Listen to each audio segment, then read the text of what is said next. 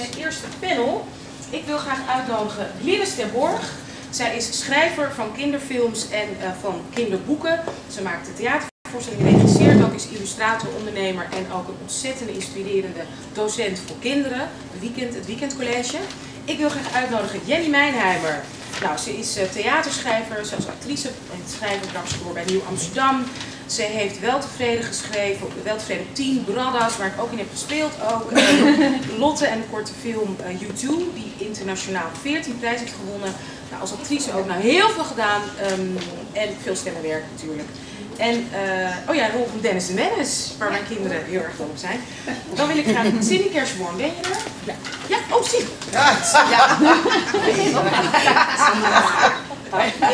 Je bent er, sorry. Initiator van de tentoonstelling uh, Roemers Drieling en met haar stichting Cinema K Foundation heeft ze documentaires over, nou, die hier te zien is, Astrid Roemer gemaakt, Frank Martins Arion, Edgar Cairo en geregisseerd en geproduceerd. En we zijn blij dat je er bent, Tessa Boerman. Je komt er wel bij, toch? Ja. Documentaire regisseur en uh, bestuurslid ook van, zeg ik dan DDG? Ja, de Dutch, ja, Dutch Directors Guild.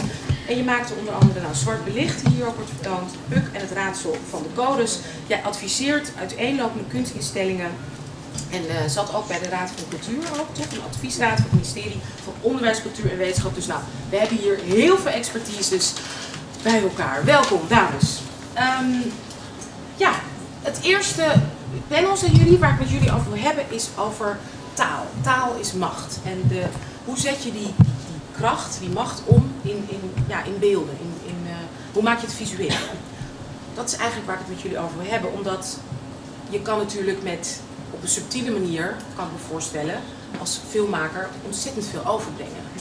Dus ik was even heel erg benieuwd, misschien kunnen jullie alle vier vertellen, hebben jullie wel eens in je werk een bepaalde subtiele boodschap waarvan je dacht, oké, die is misschien niet altijd even makkelijk om hè, direct te, te poneren, toch binnen weten te brengen in een film, in een boek, in een uiting? En, en hoe, hoe doe je dat? Hoe worstel je ermee? Zal ik, wie wil beginnen? Wie, wie denkt, ja, uh, daar kan ik Ik heb wel een voorbeeldje. Ja, graag. Linus.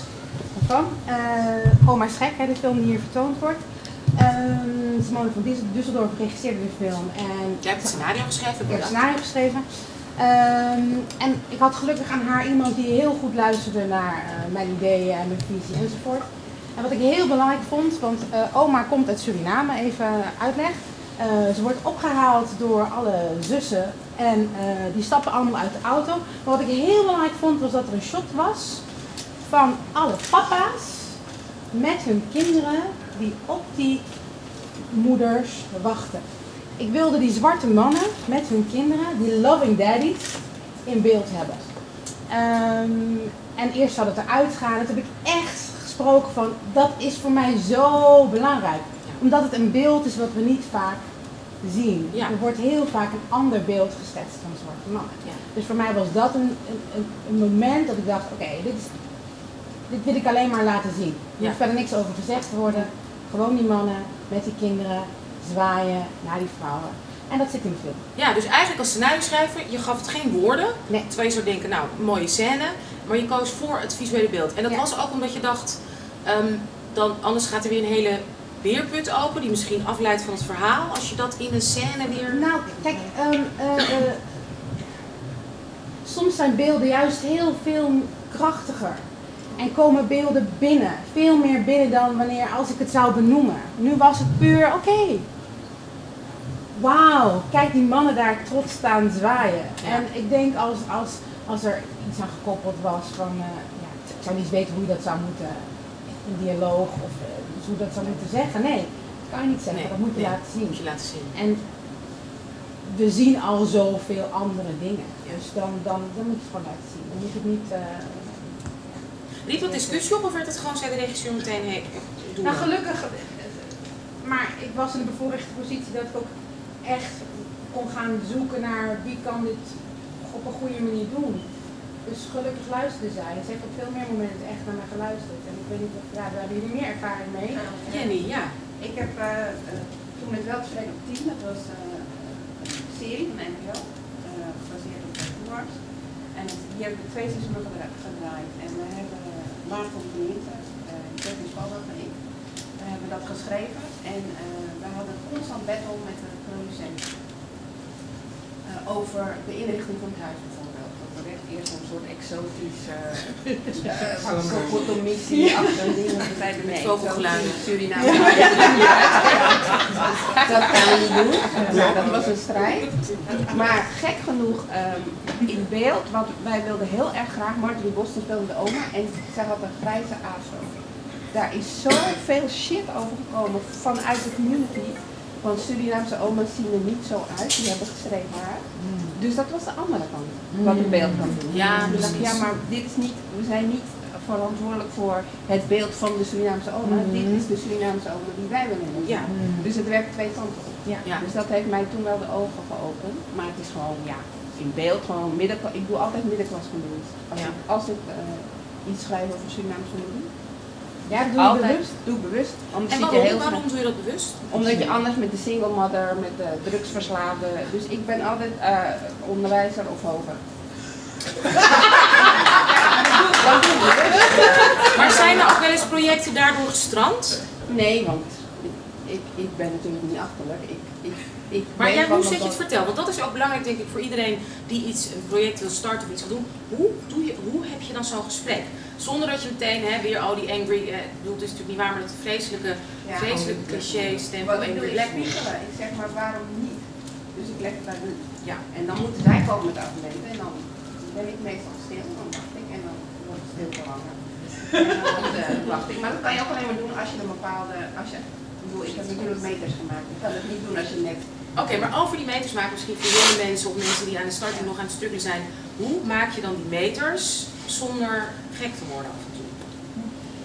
Um, door, niet in, door in projecten te zitten die niet van jou zijn. Door bij een spangas uh, te gaan schrijven. Door gewoon in, in, in, in projecten te gaan zitten waarbij je gewoon het werk kan doen. Waardoor ze niet kunnen zeggen van, nou ja, je bent onervaren. Ja, nee, kijk, ik heb dit en dit gedaan. Dus nog niet je persoonlijk verhaal. En ook je eerste verhaal uh, is, dat is het makkelijkste, want dat gaat altijd over jezelf. Maar je tweede verhaal en je derde verhaal, daar gaat het. Dat je meer afstand hebt. Dus je moet gewoon mensen maken die dat verdienen. Ja, ja. Dan pas, uh, en het is wat je net ook zei in je inleiding, het is gewoon ook werk. Je moet ook gewoon je lucht betalen. Ja. Uh, je, moet niet, je moet gewoon werken. Dus choose your battles, ja. geldt het ook voor jou, Tessa? Hoe, hoe doe jij dat? Want documentaire is natuurlijk een hele witte, intellectuele wereld. Hoe, hoe blijf jij daarin staan? Nou ja, eigenlijk wat uh, Jenny ook zegt.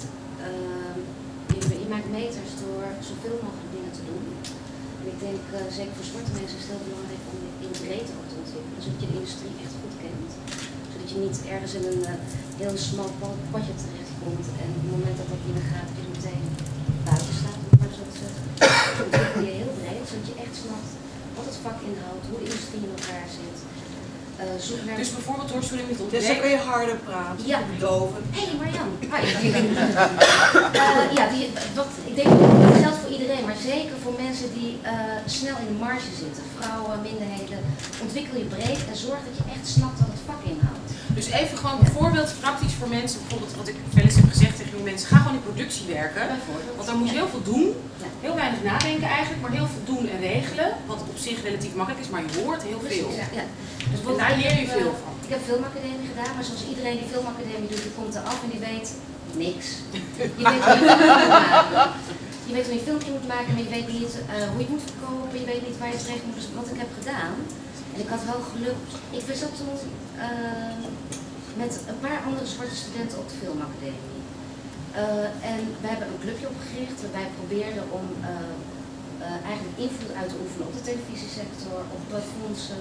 Dus dan ben je al bezig om je te oriënteren en dat breder te doen. Vervolgens ben ik een Zwart Vrouwenfilmfestival gaan organiseren, dan snap je hoe dat werkt. En dan heel langzaam ga je zeg maar, steeds meer begrijpen hoe de industrie in elkaar zit. En dat, daar heb ik nu echt ontzettend veel mazzel mee. Want van alle mensen met wie ik ben afgestudeerd, die waren dus verder allemaal wit, er zijn nog maar twee mensen die in de sector werken. De rest heeft geen poot aan de grond. Ja. Dus even, hè, voor zwarte mensen die zich uitgesloten voelen of te voelen, dan kom je aan de bak. Witte mensen komen ook niet aan de bak. Nee, het is het waar. het is een hele geliefde sector. Ja. Dus je moet echt, je moet een lange adem hebben, een dikke huid. Je moet slimmer zijn dan iedereen.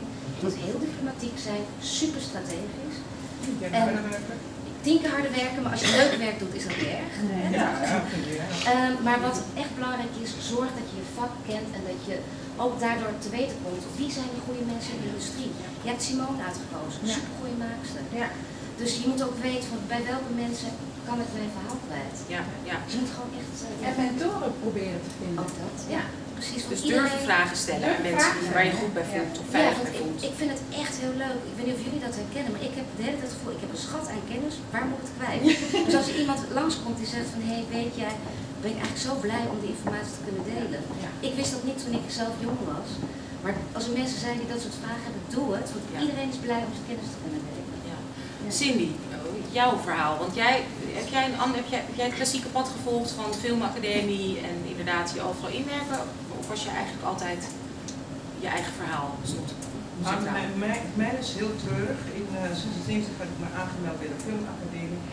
En toen werd ik, eh, en dan, het woord, ja, dat vergeet ik niet zo goed, werd ik gewoon absoluut afgewezen. En ik kwam die sukkel nog een keer tegen, heb ik hem ook gezegd, nou dat is natuurlijk een stukje ouder. En ik schaamde mij diep dat, dus dat ik echt afgewezen werd. Alleen maar om het feit dus dat ik zogenaamd niet uit de culturele familie kwam. Dus hij heeft niet. Maar werd dat zo gezegd? Ja, ja, ik heb hem ook, ik heb hem, nee, een, eh, Een gesprek? ik heb- ja, ik heb dat gesprek gevoerd. En ik kwam hem ook nog tegen hoor, een paar jaar terug, nou misschien wel tien jaar terug. De directeur van de Eh, filmacademie? nee, degene die in de commissie zat. Hè. Ik, heb hem- ik heb het toen ook echt gezegd tegen hem en eh, ik keek hem heel strak aan. En, en we samen met twee anderen. En, nou goed. Anyway. En Nee, ik maar vertel. Nee, nee, dit dus niet anyway, inderdaad. Ja, het is passé, ik heb ervan geleerd. Maar Dus voor ons, maar niet- zeg, heb je met hem gesproken? Wat, Ja, ik ging heb er, viel er bij hem een kwartje? Zag hij zoiets van sorry? En, Nou, hij wist niet meteen, maar hij dacht hem wel iets. Maar dat maakt niet uit. Ik bedoel, je, bent er, je komt er sterker uit. En hoe? Eh, Want even gewoon voor mensen, want inderdaad, precies wat uh, in dit vak heb je natuurlijk veel teleurstelling. Hoe ben jij na die grote afwijzing er sterker uitgekomen? Wat was jouw proces? Neem ons even mee. Oh, dan ben ik totaal iets anders gaan doen. Toen ben ik op de fotovakschool gegaan in, eh, in Den Haag. En toen kon ik het niet betalen. En eh, het was eh, vrij duur. De zo'n hele goeie. Dat wil ik ook nog een keer afmaken, alleen maar voor de heb. En, eh, en ik heb de hele tijd eh, fotografie gedaan, ook op straat, straatmuzikant. Dus ik heb letterlijk en figuurlijk heb ik twee dozen alleen maar met een uh, foto's, archief, analoog. Ik heb ook nog een, uh, een doka. Dus, dat, Dus je eh, bent eigenlijk wel iets te maken, wat een beetje te maken heeft, in ieder geval parallel heeft met je vak, maar in Ja, ieder geval ja. beeld Ja, ja. Oké, Ja, ja. dus dat is een En goede... by the way, ik kom uit een hele grote culturele familie. Dus dat terzijde. En, uh, en toen ben ik dus bij een uh, uh, MTV terechtgekomen, daar heb ik opleiding gedaan. Dat was weet- TV ja, of MTV. Ja, ja. No, no, no. Migranten televisie. En toen heb ik gezegd, als ik weer in de witte sector ga werken, wil ik gewoon voor geld werken. Dat heb ik ook gedaan. Dus met een, uh, een fotografie over een hele dure, chique kapper aan de Utrechtse straat, heb ik dus een, soort fotografische filmpje gemaakt. Toen ben ik daar naartoe gegaan. En ik moet even weten, hoe, nog wie die regisseur is, die zei van, dat vind ik interessant, ik wil je hebben. Toen yes! En zo ben ik dus terechtgekomen. Maar als iets, cameravrouw? Nee, nee, nee, gewoon precies wat jij zegt. Koffie, thee, schenken. Dus ik ken het vak van haven tot gort. Productieassistentie, koffie ingeschonken, regieassistent. Dus ik kan een begroting maken, ik kan bij wijze van spreken, ik ken het vak helemaal. Maar ja, ik wil wat wezen als ze lang. Dus precies wat jij zegt, Maak de meters. maak die meters, don't Breed, ja. exact. Want je weet precies, en al die mensen waarmee je ooit samen gewerkt hebt, je gaat ze een keer tegenkomen. Ja. Maar nooit jezelf verloren. En precies, jullie hebben iets anders meegemaakt. Ik ben 20.000 euro, ben ik, heb verhaal wat verteld, ben ik gewoon ben kwijtgeraakt. Omdat ik dus eigenlijk zou moeten doen, ging over het mannendebat, uh, documentaire van Frank Matthias Arjon. En ik wilde goed voor goed zeven zwarte mannen, Antillianen, in mijn documentaire hebben die dus vertelden over wat machismo is. Hoe ga je er tegenaan? Wat vind je? Uh, wat vinden de mannen zelf? En ik wilde goed, goed alleen maar zeven Antilliaanse mannen. Dus met het voorstel, dat is het beeld, de kern van mijn documentaire over machismo, waar Frank Matthias Arjen over geschreven heeft. Dus met het voorstel naar de desbetreffende baas. Bij de En, uh, publieke bij de omroep. Ja, Ja, de. Oké. En, uh, En hij zei, nou mooi, interessant, zegt hij ja. En, eh, maar wat doen we met de mannen? Ik zeg, welke mannen? En, eh, we moeten toch een Nederlandse man bij hebben. Waarop ik zei, dus wat je eigenlijk bedoelt te zeggen, dat, eh, eh, dat de inlanders, dat er een inlander bij. En toen schrok ik. Connie Bram heeft een, weet dat het Duits is, dat komt van het Duits. Ja. Dan begreep ik dus van Connie Bram die dat hele mooie boek geschreven heeft. Uh, Hendrik de Big Boy. Heel er niet begonnen. Maar anyway. Uh, nou, ja, inboorlingen komt. En de Nederlanders noemden de Indonesiërs in Indone Indonesië inboorlingen ja. inlanders. Hè? Van de inlanders.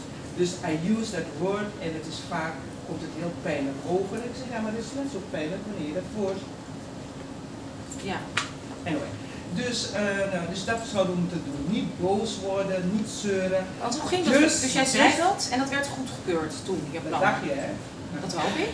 En, uh, en, en toen zeiden ja, nee, kunnen ze dat verhaal dragen? Dus wat je me eigenlijk Kunnen ze dat zegt, verhaal dragen? Kunnen werd die zeven zwarte mannen dat verhaal, of kunnen ze, ze, en niet dat woord, kunnen ze dat verhaal dragen? Dus waarom zouden ze het niet kunnen dragen? Toen zei ze wonen hier, ze hebben hier een studie gedaan en noem maar op. En uh, ja, dat wordt wel een probleem. Nou ja, dus goed, dat zal wel, ja. Ja, dus eigenlijk zei je, ik zeg, ik zal het uitspreken wat je zegt. Als er niet een, uh, een inlander erin zit, zou het dus niet, dat verhaal niet gedragen kunnen worden. Dus dan krijgen we het geld niet. Nou, nou, dat zeggen we gewoon niet. Ik heb gezegd, nou is oké, dat is nou praat, praat, praat. Ik heb gezegd, maar dat ga ik niet doen hoor. Dat ga ik echt niet doen. Ik heb gezegd, het worden die zeven zwarte mannen. Nou, we gingen de deur uit en ik zeg, shit, Cindy, you missed this one. Ja. En toen dacht ik van, miss this one. Ik denk, nou, gek. Dat maar niet. Maar het is wel uitgezonden. Later. Later. Bij u van de Wallen. Dus ik heb toch geworden. Maar ik heb, ik heb wel die 20.000 verloren, maar ik heb het wel uitgezonden. Ja. En heb ik mij... eh, Maar wacht even, voor 20.000 verloren is het de- de- toen nou, je kijk, gemaakt zelf? je, krijgt, je krijgt ongeveer 20.000 euro. Punt. Ja. Dat is, eh, nou, Die kreeg je toen niet. nee, natuurlijk. Maar toen later voor het uur van de wolf. Ja, nu, dat is dan een andere omroep. waar- Precies. waar En die dus hebben toen verkoopt. betaald. Je verkoopt het en dan eh, is hij toch uitgezonden. En ook trouwens. Dus soms moet je wikken en wegen om te zeggen wanneer doe je het, je kijkt, je voelt en, eh, en ik verlogen het niet, nee. Maar niet. Dan maar een boterham zonder kaas, een boterham met tevredenheid. En dat lukt niet. Dus omdat je erin moet geloven, want wat je neerzet, je natuurlijk ook je, je personages heel goed uitkiezen. En als je denkt dus dat zij dat kunnen dragen, dan doe je dat. En dan niet zeggen van alleen maar voor de 20 mil. Ja, ik vond het jammer. Ga ik je heel eerlijk zeggen. Toen ik wegliep, dacht ik, shit, ja, is dit gewoon 20.000, weet je wel. Ja. En later dacht ik van, no Nee. way man. Hoe herkennen jullie dit? dit? Dit soort dilemma's? En heb je het ook wel eens toch, hè, want soms kan een compromis je wel weer verder helpen. Heb je misschien een voorbeeld van dat je wel voor het compromis Ja, bent gegaan? Jenny? ik heb, ja, het de televisie is altijd compromis. Ehm, dus ja, ik heb daar genoeg voorbeelden van. Maar ik heb recent een voorbeeld van dat ik niet voor het compromis ben gegaan. Ik werk nu samen met Janneke Mees uh, aan een, een ontwikkelen- en jeugdserie. En we uh, zouden eerst het indienen als telefilm. Bij Family Circle, een heel goede vooronderstelling, goede producent, leuke producent. We hadden, Janneke en ik zijn het helemaal eens en hadden een goede synopsis. En toen twee keer toen zei de producent, ja, maar ik snap het niet en niet dit en dat. En toen de derde keer zei ik, is dus niet voor jou, ik trek het terug. Dat is de eerste keer dat ik het heb gedaan. Wauw. En wat, wat, waarom, wat, wat Omdat gebeurde ik er? dacht, jij snapt niet wat ik wil vertellen, dus ik moet het niet met jou vertellen. Dus, en dat was zo'n opluchting en nu gaan wij samen verder en ontwikkelen als een serie. Ja. Maar dat had ik tien jaar geleden nooit gedaan. Dan was ik aan het toeschrijven van ja, maar ja, je moet toch ingebied. Angst. Ja. Kan je daar iets over vertellen? Een keer dat je inderdaad wel met het compromis bent meegegaan. Ja, en wel op tien, dat was. Was ja. Dat was echt de hel. Het eh, eerste seizoen was het al eh, moeilijk, eh, omdat de producent en de regisseur één persoon waren die nog wat winkel was. Leuke gast, maar moeilijk. En ehm, dat was heel veel conflict, omdat wij alle stereotypen eruit wilden en zij wilde alle stereotypen erin. En uh, was niet uit, afgeschreven toen het werd hernieuwd voor het tweede seizoen. En toen bleef ik over eigenlijk. Maakte Ik doe het niet. doe het niet. En ik dacht, ja, maar jij gaat mij niet eronder krijgen. Dus ik heb het tweede seizoen als hoofdschrijver gedaan. Dat heeft me vijf maanden van mijn leven gekost om daarvan te herstellen. Omdat, omdat het een en al strijd was. Een en al de hele tijd over zwart. Ik ben niet van zwart-wit. Ik- Het gaat om vakmanschap. Dus ik ben ook niet van. ehm daarom had ik toen je het wil wel meer over horen. Dat je zei, ze moet geïnterviewd geïnterviewd worden door een zwart iemand. dacht ik, ja, moet geïnterviewd geïnterviewd worden door iemand die Vakmanschap. vakman is. Zwart Nee, is voor ik- mij. eh, nee, maar het ja, natuurlijk moet ze geïnterviewd worden door vak, maar vakmanschap, het maar is- iemand zwart iemand met vakmanschap. Het is een interessante Ja, maar die discussie, maar dat, Ja. ik heb zoiets van ja, je moet, gewoon, je moet het gewoon kunnen. Nee, maar dat, voor mij heeft het heeft twee redenen. Dat zal ik dan inderdaad even uitleggen. Niet dat het nu eh, om mij gaat hoor, dit, dit gesprek. Nee, nee, maar, Maar ik denk het belangrijk is om het even uit te leggen. Ten eerste, zij noemt zichzelf een zwarte schrijver. Ja. Eh, een zwarte feminist, Chimamanda. Plus, het komt bijna, kijk, het, het 9 van de 10 interviews zijn door witte Nee, maar ik ben het met je eens hoor, dat het... Nee, en plus het, het geeft een verdieping. Het, het geeft een verdieping als juist iemand naar Nederland komt en haar laatste boek gaat over migratie. Hè, Amerikanen gaat over een zwarte vrouw die in Amerika gaat settelen. Hoe interessant, hoeveel verdieping geeft het dan niet als je dan inderdaad ook wordt geïnterviewd door een vakvrouw die dit ook kent en herkent. Ja, dat ging mij puur, dat ben ik Dus dat was, dat was Ja, vond ja, ik de afweging. En plus, hoe je het zei. maar ook maatschappelijk, Ja. het wordt ook tijd dat die stemmen gewoon worden gehoord en zichtbaar zijn. Want het is niet zo dat, dat, er, dan vak, dat er geen vakmanschap is. Want dat excuus wordt heel vaak gebruikt. Nee, maar, Nee, we gaan voor de beste. Maar die, is er, die zijn maar ik er. ben het met je eens, maar ik denk soms, ik bedoel, ik ben zwart, maar ik ben opgegroeid in Leiden. Dus als je mij eh, vraagt om iemand te interviewen, krijg je niet een zwart perspectief, je krijgt een licht perspectief. Dus dat is voor mij... Oké, dat vind mij ik heel interessant. Wie van jullie heeft wel zoiets van, ja, mijn afkomstkleur hoort wel bij mijn perspectief. Laatst heb ik een interview gezien van Arnold Groenberg met Sade, Sade Smit. Die, eh, Zadie Smith. Zadie, Ja, schrijfster. En het is een man. Het is, eh, en die man, die Arnold, die had zijn werk hij heel goed gedaan. En die Sade, hè? Zadie. En Zadie, die, die, die zat en die zei op een politieke, rustige manier hele zware, enge, pijnlijke dingen op haar broer.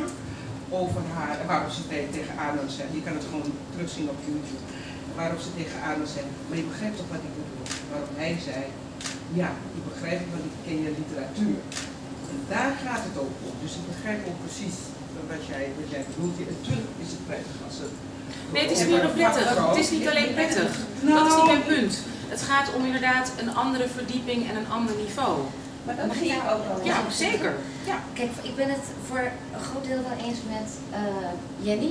Ik ben het ook eens met Ja. jou. Maar waar het volgens mij om gaat, is dat je het niet kunt reduceren. Kijk, als, we zitten hier zeg maar merendeel met zwarte mensen, je.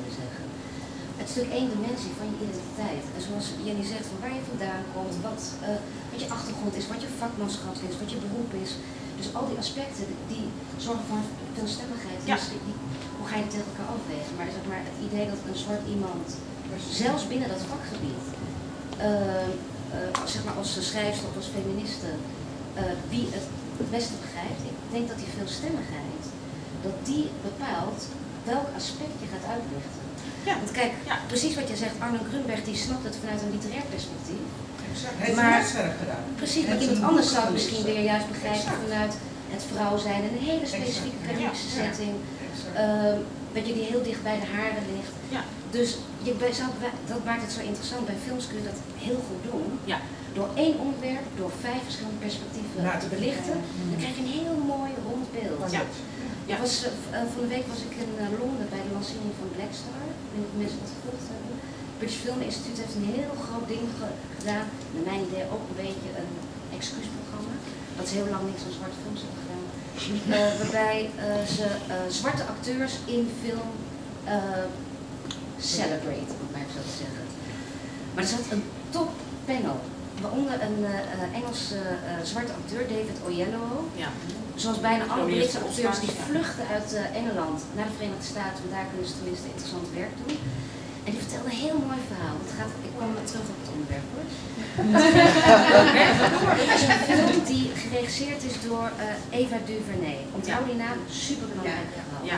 Die echt een soort ja, zij heeft een revolutie in de filmindustrie in de Verenigde Staten teweeggebracht. Hij werkte met haar samen. Ze waren Film Selma? Selma, daar gaan we het over. Selma is een film over Martin Luther King.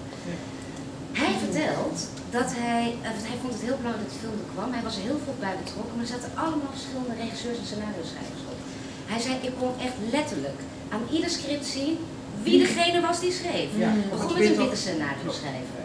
Toen werd het hele verhaal verteld vanuit een witte man naast Martin Luther King. Hij zei, wat is hier aan de hand? Weet je, Martin King, iedereen kent hem. Waarom een onbekende witte man kiezen als perspectief om dit verhaal te vertellen? Hij zei, ik snap het wel, want het was een witte man die vanuit zijn eigen perspectief Ja. naar dit verhaal keek. Gelukkig voor de film ging deze man het niet doen. Het ging naar een zwarte man. Weer een heel ander perspectief. Super interessant. Die man is het ook niet gaan doen. En terwijl het is een zwarte vrouw. Even. Hij zei totaal ander perspectief. En dat is het uiteindelijk geworden. Zij is het ook gaan regisseren. Dus om even het aan te geven, dus die zwarte man en die zwarte vrouw, allebei zwart, totaal ander perspectief. ja, nee, dus het gaat, ik denk dat het daarom ook zo belangrijk is om heel specifiek te zijn. Welk perspectief eh, kies je? Ja. En nog één andere link om daar iets over te zeggen. Ik zit in de Raad van Toezicht van het Amsterdam Museum en ik ben er echt heel trots op dat we een zwarte voorzitter hebben. Baanbrekend. Maar waar ik nog trots op ben, is dat het geen usual suspect uit de culturele sector is. Ja. Ze komt niet uit de politiek, ze komt niet uit eh, de andere culturele sector. Eh, ze komt uit een schuldhulpverlening, ze is directeur, schuldhulpverleningsorganisatie MADI in Zuidoost. Dus Jurenne Mooi. Ja.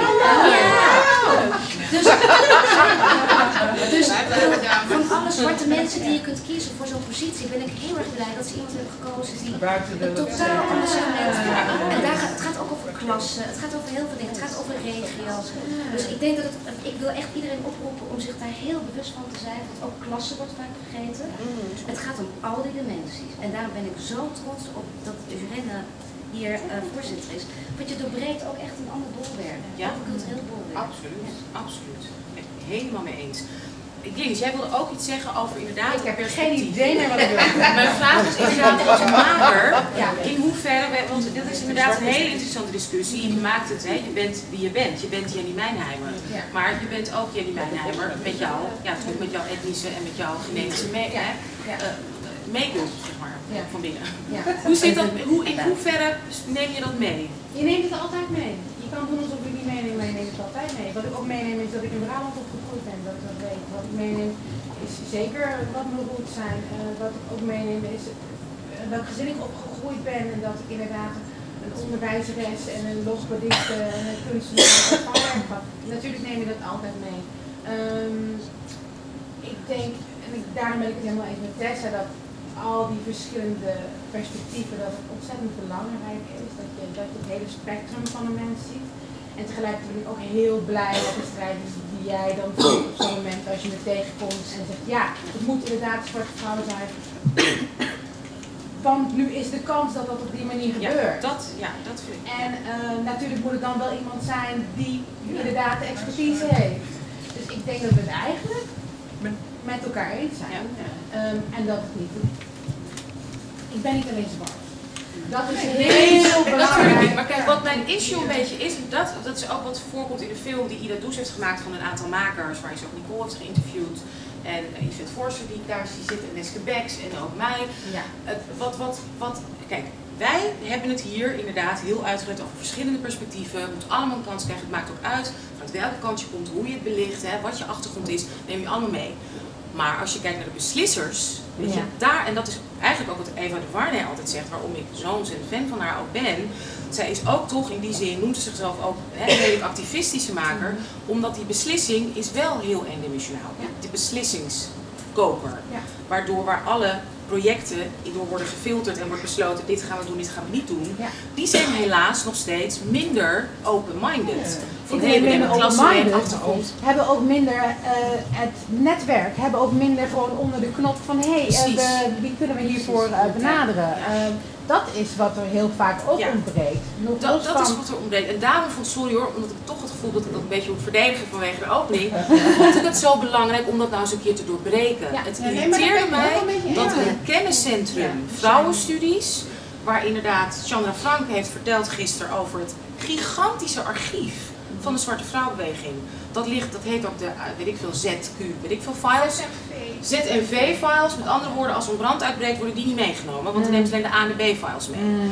Dat gigantisch archief, wat inspirerend is, ik zag foto's, beelden, dat, dat, is, dat wordt niet eens meegenomen in dus de beslissing van wie gaan we daar neerzetten. En da- dat vond ik zo pijnlijk. Ja. Dus natuurlijk, los van expertise, wordt er gewoon gekeken, oh ja, inderdaad, dit is mijn Rolodex. Ja. In plaats van zoals wij het nu bespreken, maar welk perspectief kies je, welke kant belicht je, man. Dat vond ik zo pijnlijk. En dacht ik, nu hebben we de kans om dat nou eens een keer gewoon, daar gewoon, ja, daar ben ik toch een activist in. Ja. Gewoon, Maar En ik ben heel blij dat je Ja. activist bent. Aansluitend daarop, het belang van eh, dat wij in commissies gaan zitten. Ik Ja. heb, eh, ik zit in heel, heb in heel veel commissies gezeten. Ik zit nu nog, ben nu nog vicevoorzitter van het netwerk scenario-schrijvers. Ik heb in goed. voor Cultuur gezeten. Ik zit nu bij de AFK. Maar ben je dan een van de weinigen of zijn jullie dan het Ik ben een van de weinigen. Neske Beck zat met mij eh, eh, in, eh, bij eh, eh, Mediafonds. Ehm, en Tessa. En lukt het dan om samen inderdaad, hè, Ja, maar in het dat gaat niet om, die wij, wij doen het al. Het gaat veranderen? erom Ja, dat het ik werkt. zie dat, er, dat het wordt aangevuld. En als je dan zegt, bijvoorbeeld, even, niet om namen te noemen, maar even een recent voorbeeld. Eh, er is nu een, eh, die werkgroep diversiteit waar wij in zitten. Demi trouwens. En dat is, vanuit wie is dat? Dat is van de het Dat is eh, van eh, De filmsector. Ja, de filmsector. Alle beroepsverenigingen en de heeft- filmsector. Ja. heeft gevraagd aan de beroepsverenigingen om eh, eh, adviezen te geven over hoe de eh, diversiteit in media bevorderd kan worden. Eh Remy zet dat op, eh, op Facebook, Samora Bergtop, die heel goed bezig is met, eh, Ja. die zegt ja, oh, oh, dat goed, maar ik sta liever, ik, ik speel liever zo'n rol. Dan denk ik, ja, natuurlijk speel je liever zo'n rol, maar zo'n rol, je moet ook in de commissies gaan zitten en dat gebeurt veel te weinig. Dus dan, ik, al twintig Ja, jaar... maar hoe kom je in zo'n commissie? Ik zou wel liefst in de commissie willen, maar je je, je moet je opgeven. En dan, word je, dan kijken ze, schrijven een gesprek. Of dan wordt ze geloven. Maar ja, en dan ben je gebeurt feit veel. radicaal. Dus. Dat- Ik nooit in de commissie uitgenodigd hoor. Maar, maar heb je je ooit opgegeven? Ja, zeker, zeker. Bij de NPO ook. Maar dan maken ze Nee, maar ik bedoel, ik formeren bedoel een in andere de, commissie.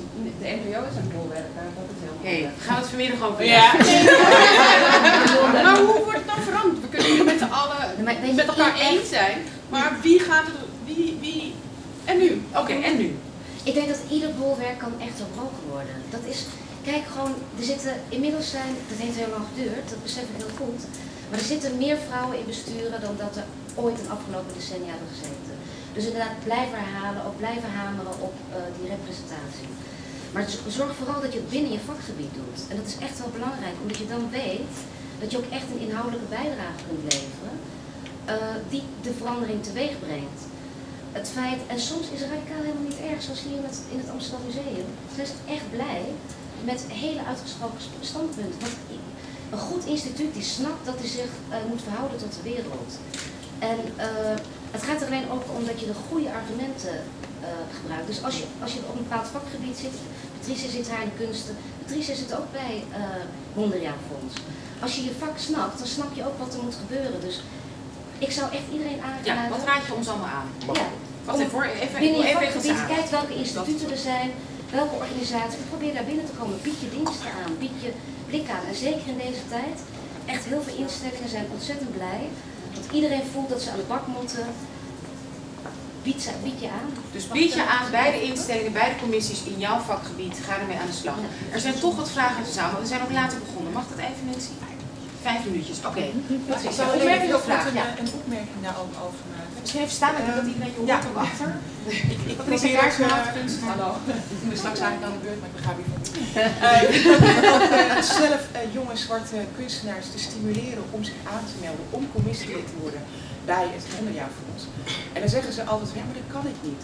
En dan zeg ik, luister, jij leeft in twee werelden. Jij begrijpt heel goed hoe die witte wereld functioneert en je weet hoe de zwarte wereld functioneert. Dus je bent in een voordeel. En ehm, als je dat voorbeeld, het voordeel goed weet om te zetten, dan eh, heb jij er voordeel aan, maar zij ook. Dus nou ja, ik denk dat dat ook Zie je dus is. inderdaad ook Je durven, een voordeel. jezelf ook gewoon durven inschatten, je kracht gewoon durven inschatten, of althans benoemen. Dus wat jou anders maakt is je kracht. Durf dat ook zo te benoemen, te erkennen. Te zeggen, dat is iets inderdaad wat we onze kinderen, wat we ons- tegen onszelf moeten zeggen. Ik kom, mijn, mijn man komt uit een hele, uit echt een wit intellectueel milieu en daar is van kleins af aan bij hem op gehamerd. En ik merk bij mezelf, of bij, hè, is dat, is dat, is dat ja, is daar nog werk aan doen. Mag ik daar nog even Ja. één tip voor Ja, geven? Marjan zeker. Saks is helaas weg. Marjan Saks is de oprichter van Mama Cash. En ik ben ooit, doordat ik dat Zwarte, Filmfestival, Zwarte Vrouw Filmfestival eh, heb gedaan, had Mama Cash mij benaderd van wil je bij ons aan bestuur. Dat is voor mij een fantastische ervaring geweest. Het was een warm bad. Omdat ik daar heb leren wat besturen inhoudt, wat beleid maken is, wat adviseren betekent. Dus als je begint, kies dan ook een clubje waarvan je Veilige weet, club, dan voel ik me veilig, dit snap ik. Weet je, begin daar en dan snap je hoe het werkt. En durf jezelf dus ook aan te bieden. Ja, als precies. Ja. Nog wat opmerkingen. Nou ja, wat, wat, wat ik eigenlijk wil zeggen, wat ik mijn ervaring is ten aanzien van instituten zoals de, de NIO, de KITLV en het Militaire Instituut. Die mensen moet je niet meer vertrouwen. Je, moet- je, je moet zelf, je moet zelf zeg maar erin hakken. Ja. Bedoel, Dus bij sommigen kun je gewoon Ja, het is en- en- gaan, bij anderen en en en- en. nee, het is niet, het is niet NN. Zeven- 70 jaar lang, 70 jaar lang hebben ze niks gedaan, terwijl Ja. ze alles weten. Maar, maar, maar, maar dat, is, dat is uw ervaring en ik bagatelliseer het absoluut niet. Maar dat wil niet zeggen dat je, dat je niet moet doen wat er hier gebeurt. Nee, nee, dat zeg ik niet. Nou, dat zijn we net wel. Ja, soms kun je ook dingen van binnenuit veranderen. door Ja, nee, maar je moet die mensen niet meer vertrouwen, dus je moet blijven hakken. Je moet zelf blijven hakken erin. Ja, Dat bedoel ik. twee. Twee korte Ja, punten, want we moeten echt afronden. Ja, meneer. Nee, dat, dat, dat sluit wel aan op inderdaad eh, de tactiek om binnen te komen. Noem het maar even. Dus denk je van praat met de mensen die ja, succesvol gelukt is in de afgelopen tijd en vraag aan hun wat de successen Ja. zijn en waardoor. Waardoor denk je zelf dat je binnen bent gekomen en dan weer zoveel mogelijk verschillende perspectieven. Want een strategie is ontzettend belangrijk en wat ik denk is dat alle mensen zich verder tot de taal moeten gaan bewapenen als je op een hele agressieve manier probeert binnen te komen. Dus dan moet je wel zo'n massa hebben en dan moet je je afvragen van is die agressieve manier de, de beste manier? Maar wat is agressief? Nou ja, wat, ik, ik voel, ik natuurlijk. Nou ja, Oké. niet vergeten, die mensen die zijn natuurlijk gesubsidieerd door ons geld, hè? Ik geloof heel erg in en en. Ja. En soms kan het werken om met een paar mensen bad cop, good, good cop. Ik ben dan meestal... Misschien nog één opmerking En dan af- nog één opmerking. Wie zegt ik moet nu iets zeggen? Ja. Even staan. Ik kan niet staan op dit laatste om hier te komen. Ik heb me enkel. eh, Oh. En gisteren was je er ook. Jee. Yes. Maar luister, ik heb, eh, weet je, ik ben niet altijd dus een soort vreemde eend in de bijt. Hè. Want ik ben niet van de kunsten en zo natuurlijk wel, maar niet professioneel. Maar ik ben op zoek naar wat zijn de parallellen tussen deze sector en andere sectoren. Hè. En dat komt uit onderwijs of de psychologie, Ja, hè? en ik hoor het hier weer. Ik denk dat eh, die laatste mevrouw zei, kijk binnen je vak, vakspecialisten. Ik denk je moet twee stromen hebben. Hè. Je moet inderdaad binnen je vak, want er moet voor ons allen in dit land iets zijn wat boven al die sectoren hangt. Want binnen elke sector, believe me, het zijn dezelfde mechanismen die spelen. Het zijn dezelfde, en we Ja. kunnen dus multidisciplinair tussen disciplines van elkaar lenen en leren. Lenen en zo'n netwerk. Het is Connecten. een, dat is één. En het tweede is, eh, Sorry hoor, nog laatste die, punt. zwarte, Ja. die zwarte en vrouwen, die zitten niet alleen met archief. Er zijn een heleboel die nog leven.